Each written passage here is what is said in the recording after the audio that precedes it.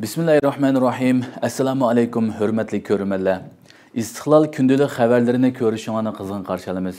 Mən Ərşidin İdiqot. Tövəndə vətənimiz Şərqi Türkistan və dünya gün tərtibinə əlaqədar mühim xəbərlərini huzurunuza sunumuz. Qani diqqətinizlər ekranımızda olsun. Xitay Şərqi Türkistan tarixini və vəziyyətini burmalaş üçün xalqaralıq yığın orunlaşdırdı. Xitoy Sharqiy Turkistonga tajovuz qilib kirgandan beri Sharqiy Turkistonning Uyg'urlarning tarixini burmalash orqali Sharqiy Turkiston zaminini o'zining qilib olishga urinib kelgan edi. Xitoy oldingi hafta Qashqarda atalmish Jungo Xinjiangning tarixi va kelajagi temasida xalqaro munbir tashkillagan. Xitoy xalq to'rining xabar qilishicha, atalmish Jungo shinjongning tarixi va kelajagi temali xalqaro munbar 12 iyun Qashqarda o'tkazilgan bo'lib, munbarda arxeologiya, tarix sohasidagi xalqaro almashtirish orqali atalmish shinjongning tarix, insoniyat jihatiga ko'p manbalik bir gavdalashgan tadqiqotni ilgari surish, Xitoy bilan chet elning madaniyat almashtirishi va o'rnak ilishini cho'nqurlashtirish asosiy maqsad qilinganligi da'vo qilingan.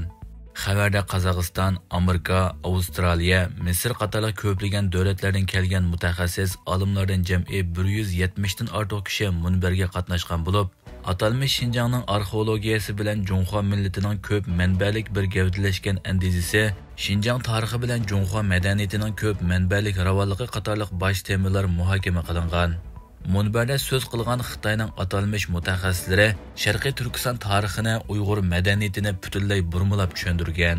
Yillardan beri Xinjiang azaldan tortib Xitoyning bir qismi edi degan safsatini takrorlab kelgan Xitoy mazkur munbarda bildirlab Xinjiang madaniyati azaldan Junxo madaniyatining bir partisi edi degan safsatini kuchab ta'kidlagan. Xitoy ishg'oliyat tarixidan boshlab Sharqiy Turkiston xalqini har xil bahonalar bilan bostirib kelgan bo'lib, Yaqinqi yillardan buyon ochiq oshkora holda atalmish Junxo millati o'rtaq gavdisi ingini mustahkamlash, Junxo madaniyatining oziqlantirish nomi ostida irqiy qirg'inchilik, assimilyatsiya siyosatini yurgizmoqda. Shundaqla Xitoy madaniyatini Uyg'urlarga majburiy tingish bilan birga Uyg'urlarning tarixini, madaniyatini burmulash, o'zgartirish, yo'qotish planlarini texmo kuchaytirib ijro qilmoqda. Xitoy Uyg'urlarning milliy kimligini unutuldirish, tarixini burmalash plani bo'yicha bu yil yil beshida atalmish Xinjiang muzeyining ko'lamini asligidan 3 hassiga yaqin kengaytib solgan.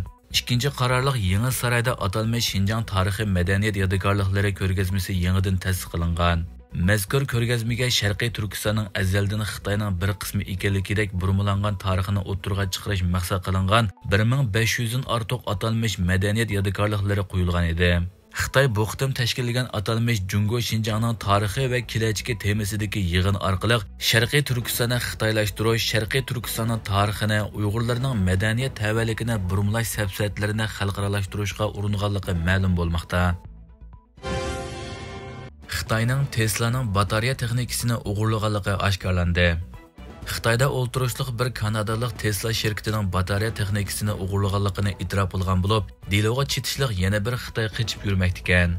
Amerika ovozining xabarida bildirilishicha, Amerika Adliya ministrligi 13 iyun Xitoyda yashayotgan bir kanadalik nyu York Federativ sud mahkamasida Amerikaning oldingi qatorda turdigan tokliq avtomobil ishlab chiqaruvchisining sanoat maxfiyatligini o'g'irlaganligini e'tirof qilgan bo'lib, u 10 yillik qamoq jazosiga hukm qilinishi mumkin ekan. Uning sherigi bo'lgan bir Xitoy hozirmi qochib yurayotgan bo'lib, Kanada va Amerika taratqullari maxfiyatligi o'g'irlangan shirkatning Tesla ekanligini ilgari surgan.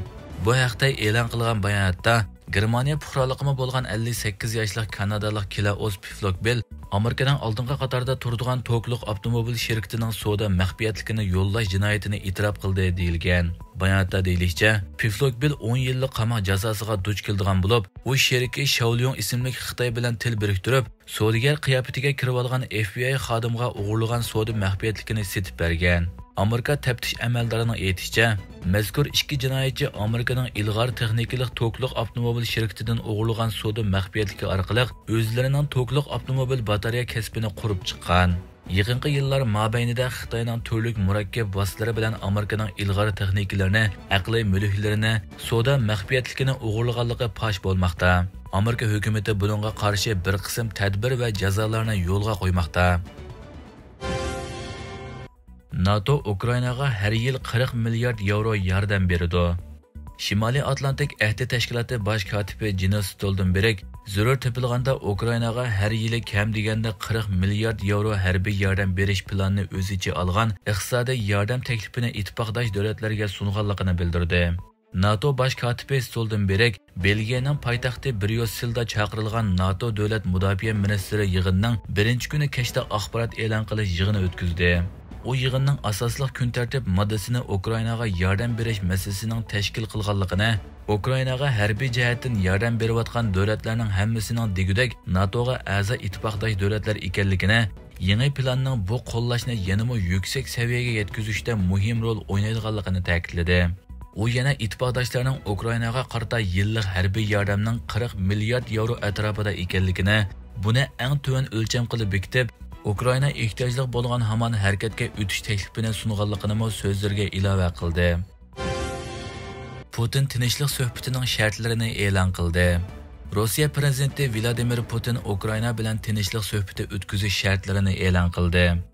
Turkiya ovoz radiosi xabarida bildirilishicha, Rossiya prezidenti Vladimir Putin 15-16 iyun kunlari Shveysariyada o'tkaziladigan Ukraina tinchlik yig'ini to'g'risida to'xtalib, Shveysariyadagi yig'inga taklif qilinmadi. Rossiya bo'lmagan ahvol ostida biz bilan aniq va mas'uliyatchan dialog o'rnatilmasdan Ukraina bilan Yevropaning bexatarligi masalasini hal qilishning imkoniyati yo'q degan. U Ukraina harbiy qismlarini Donetsk, Luhansk, Xerson, Zaporojyedan chekindirilgan va NATOga a'zo bo'lish orzusidan voz kechgan ahvolda Ukraina bilan suhbatning boshlanish mumkinligini bildirgan. U bugun Ukrainaga haqiqiy tinchlik taklifi sunmoqdamiz. Vaqtliq urush to'xtatishni kapolatga ega qilishini va masalani to'ngiltishni emas, to'qinishlarni oxirlashtirishni taklif qilamiz degan. Vladimir Putinning 2022 yili 24 fevral Ukrainani ishg'ol qilish farmonini tushirishi bilan Ukraina Rossiya urushi rasmiy boshlangan edi.